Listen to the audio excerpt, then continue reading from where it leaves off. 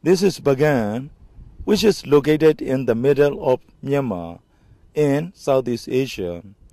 There are uh, more than 3,000 ancient pagodas and temples. All of them were built in a, between 11th century to 13th century. Now we are at the entrance of Nyangaba village, which was called Anuradha in ancient pagan period. Most of the people in this village they earn with making lacquerware since 11th century. In 11th century, the king of Mon country, southeast part of Myanmar, and his followers moved to Bagan. At the same time, more handicrafts technicians moved Bagan too.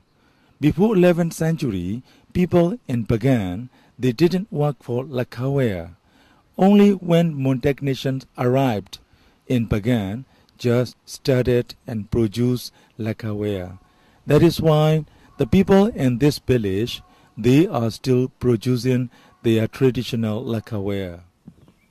These are the bamboos. Those were carried along the Ayeyarwady River from the northwest part of Myanmar. From there to Bagan, it takes about one month. The name of the bamboo is Matinga, which is the longest bamboo in our country because its length is about 60 feet. We use this bamboo to make the lacquerware. The business material of lacquerware is bamboo. From the bank of the river to home, we have to carry these bamboos by bullock cart. Each bullock cart can carry about 30-35 bamboos. The bamboos are getting wet in the water that is better to use as lacquerware because the insects cannot eat these bamboos easily.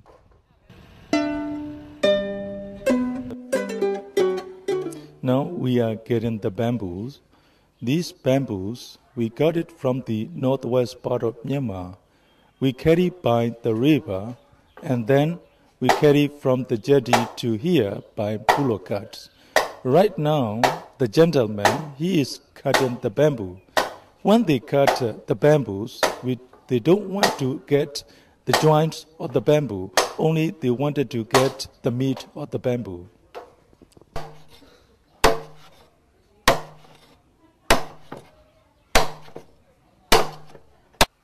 So after cutting the bamboo, we get the short bamboo which is without joint.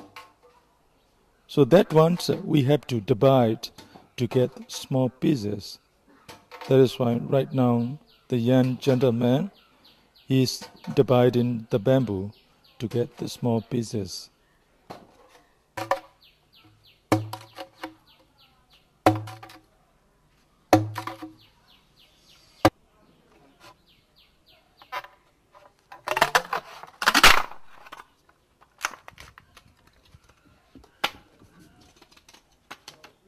After dividing the bamboos, we have to be smooth the bamboo, the corner line of the bamboos, because of those corner lines make the problems for the fingers.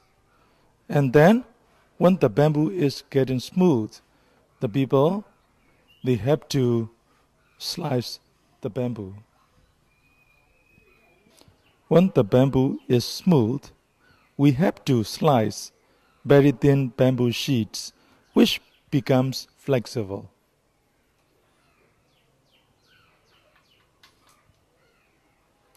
After slicing the bamboo, we have to split out the bamboo. When we split it out, those bamboo sheets will be very flexible.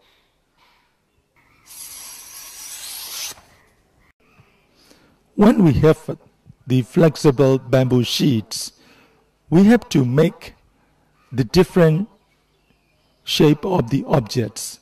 Those are the cups which we can use for the soup and the green tea. And the flat plate where we can fill up the fruits or steamed rice. And then flat bowl, that ones we can fill up steamed rice or salad, we can fill up. And then the bowl that we can use to fill up soup. And then wedding box or offering box. And betel box. So those are different shapes of the objects of the our lacquer factories.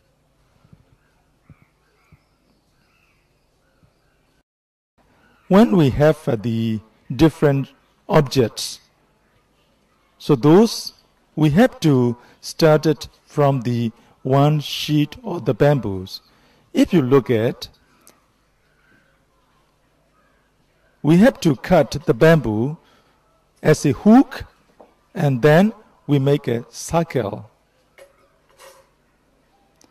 When we have the circle, we have to fill up more layers of the bamboo sheets as taperons.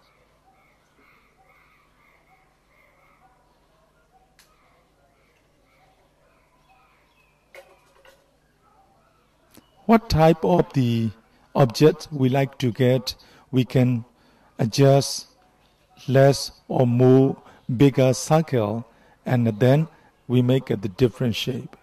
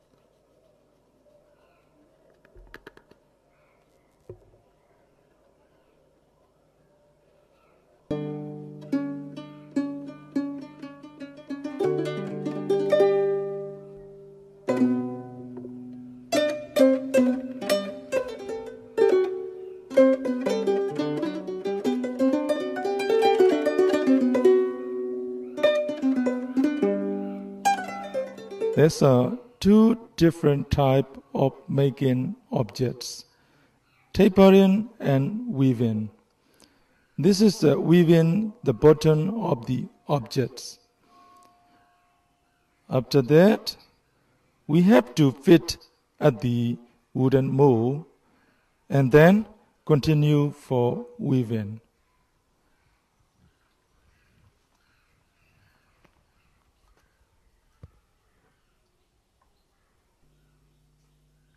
Now, this is woven with the horsetail or horsehair. Each person can make two cups in a day. We cannot finish many objects because the horsetail are very tiny.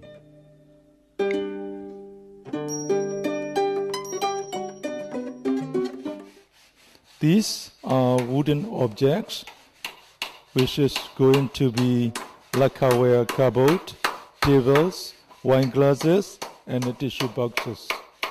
We make these objects made of teak wood.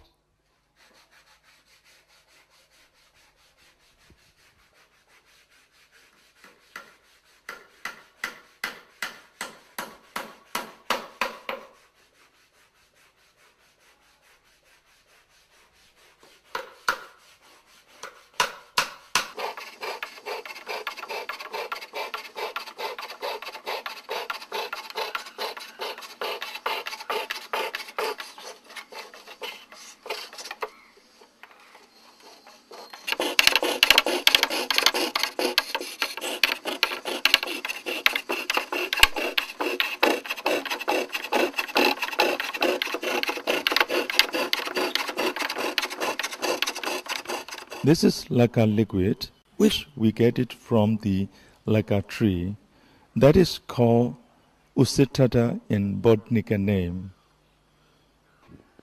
Originally, the lacquer liquid it come out from the tree as brown color, but when the sap of lacquer liquid dash with the oxygen, its color changed to the black color. Right now, we had to be melt like a liquid under the sunshine and filtering to be clean.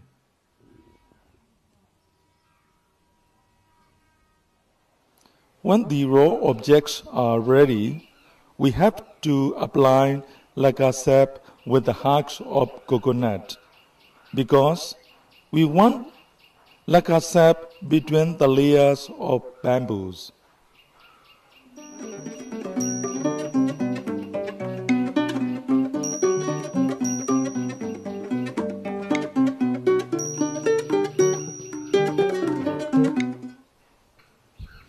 After applying with the lacquer sap, we have to be drying those objects inside the cell room for a few weeks.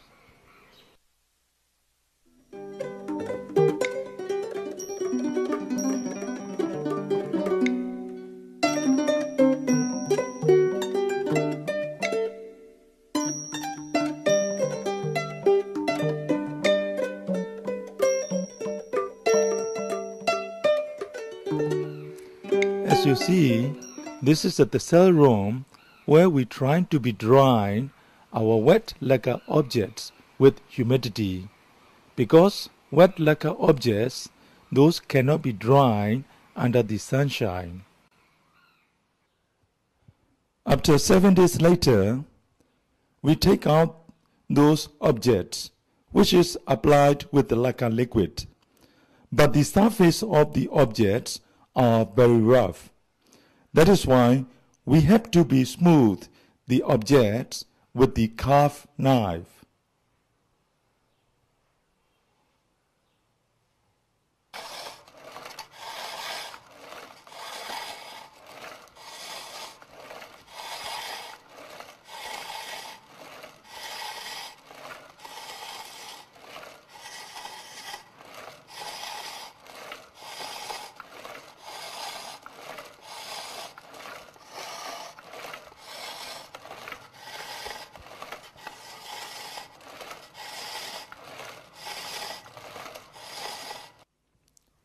These are the ash of the kettle's bones and pure lacquer liquid. After smoothing the objects, we apply the whole body of the objects with the plaster, which is mixed of the ash of the kettle's bones and a lacquer liquid. After that, we have to put it back inside the cell room for seven days.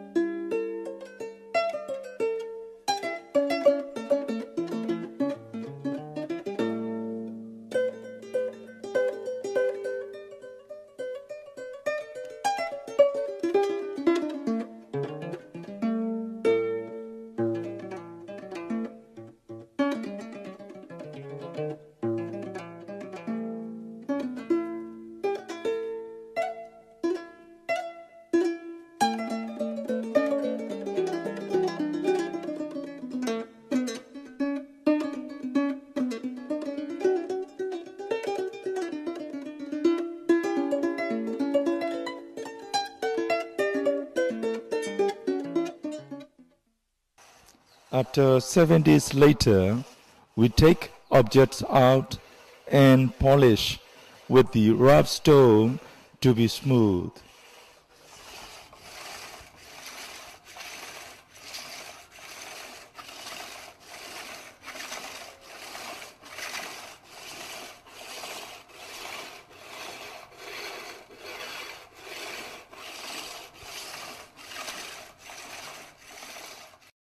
After smoothing with the rough stone, we apply the plaster with our fingers because our fingers can adjust like a liquid on the surface of objects, thinner or thicker.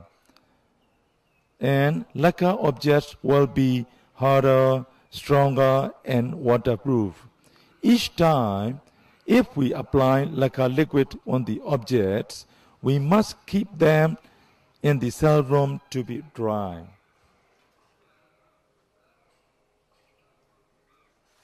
After three layers of the plaster on the objects, we have to polish the surface of objects.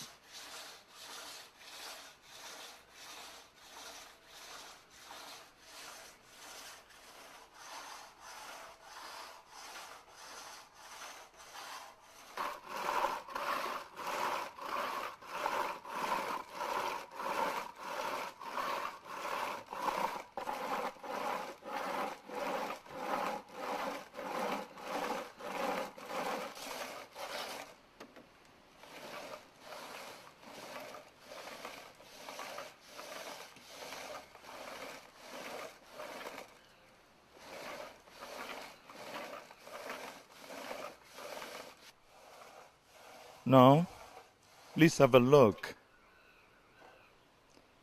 The lacquer object, which is getting smooth and harder, stronger, and waterproof.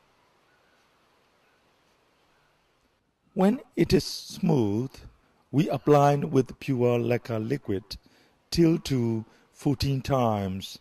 Each time of lacquer layer, we must keep it inside the cell room for seven days. After 14 times of the lacquer layers on the objects, it will be very bright to make designs. That is why we must polish on the surface with the powder of the teakwood charcoal, so that we reduce brightness of the lacquer objects not to get reflections. Now you see, this is not very bright and ready to decorate with beautiful traditional designs.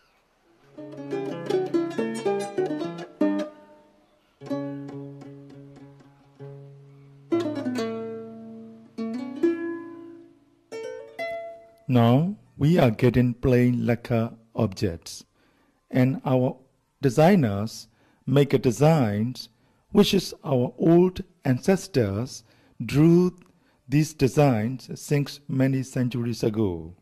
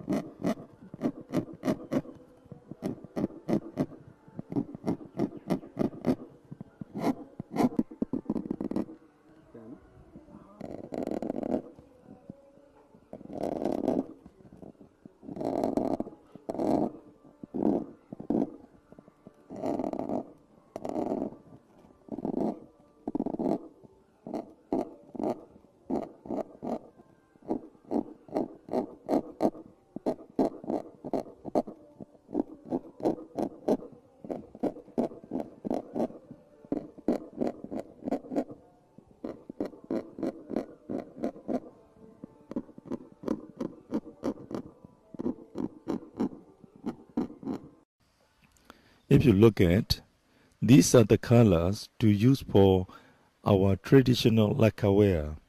Those are red, green, yellow, and orange. All the colors we get it from natural stone and clay. After drawing designs on the plain lacquer objects, we begin to engrave for red color pictures.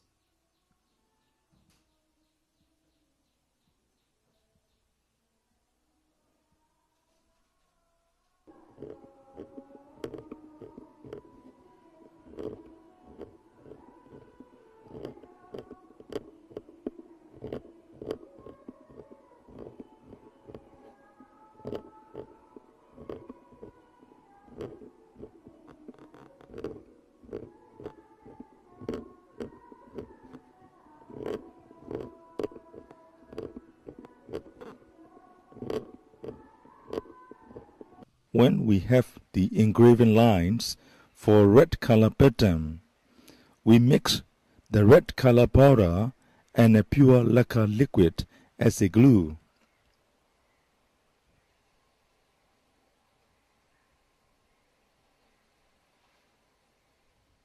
If we are ready, we apply red color paste on the object and put it inside the cell room for three days.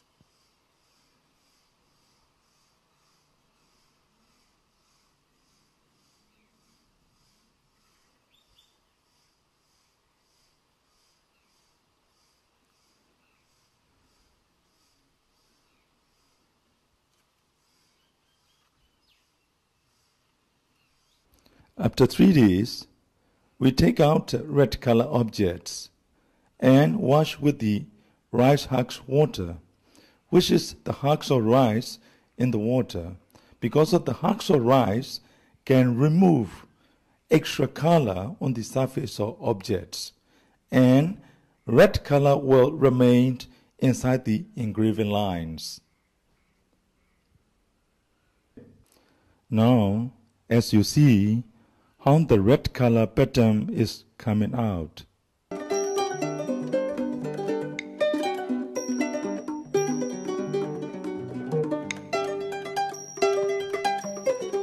After making designs, we have to create four different colors. Those are red, green, yellow, and orange. The basic color is red color. If you see black color design, we have to fill up with red color. If there is a red color on the objects, we have to continue for green, yellow, and orange.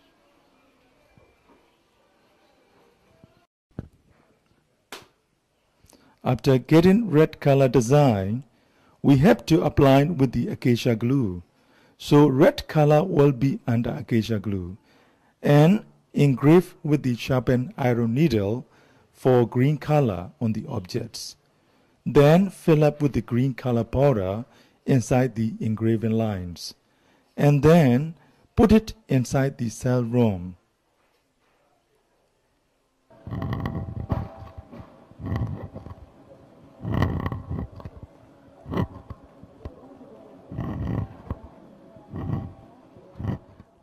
Last three days ago, we put these green objects inside the cell room.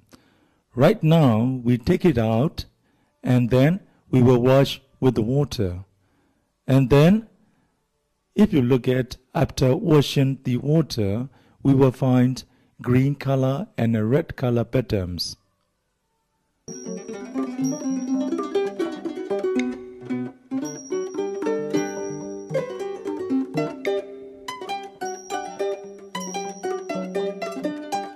When we have red and a green color pictures, we apply with the acacia glue. So red and a green will be under acacia glue. And then we engrave for yellow patterns. After that, fill up with the yellow color powder in engraving lines. And then we put it inside the cell room for three days. Right now, we take back yellow color patterns objects from the cell room.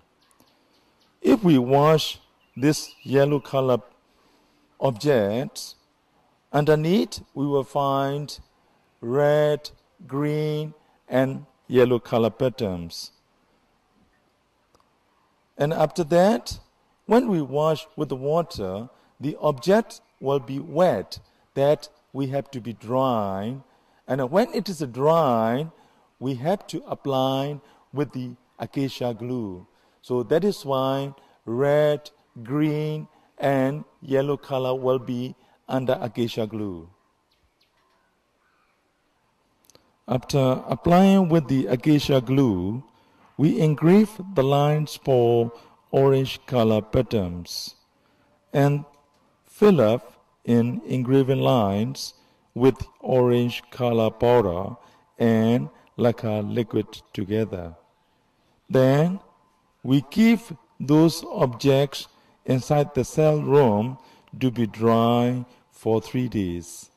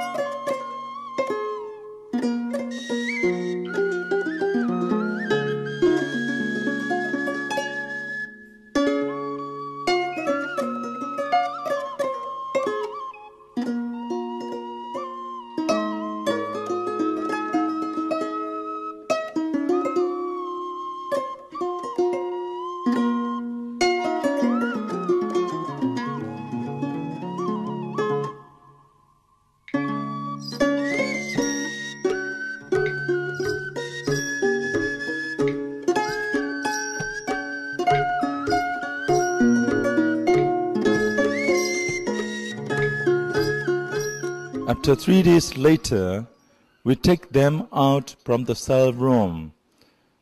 And then we have to wash with the water. When we wash those orange colors, we will get four different colors. Those are red, green, yellow, and orange.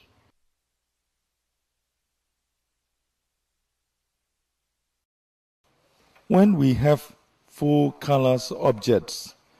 We keep them back in a cell room more than seven days. That we make sure to be dry and strong for our lacquer liquid and color of patterns.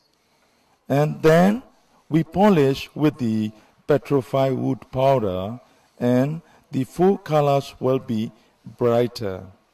So this is our end of process so from the beginning to the end, this process will take about seven months.